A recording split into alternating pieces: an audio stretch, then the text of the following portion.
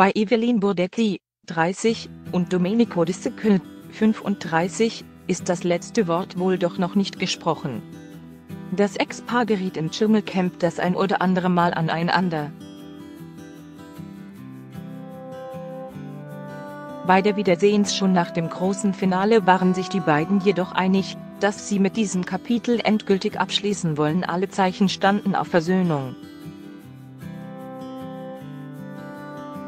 Doch bei ihrer Ankunft am Frankfurter Flughafen herrschte nun erneut Eiszeit zwischen den Kuppelshagen-Stars. Als Evelyn am Dienstagmorgen den Frankfurter Flughafen betrat, rissen sich die anwesenden Fotografen um die neue Dschungelkönigin. Während des Blitzlichtgewitters wurde die Blondine auch darum gebeten, mit ihrem Ex zu posieren. Wie live vor Ort beobachten konnte, lehnte die 30-Jährige den Wunsch der Fotografen jedoch dankend ab.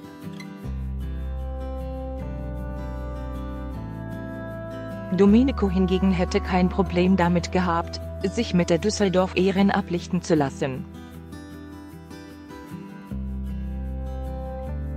Eine überraschende Entwicklung.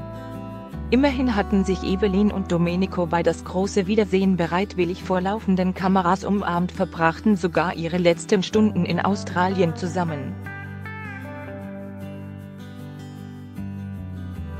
In seiner Instagram-Story zeigte mit Camper Bastian Jotta, 42, die beiden bei einem gemeinsamen Dinner im Hotel.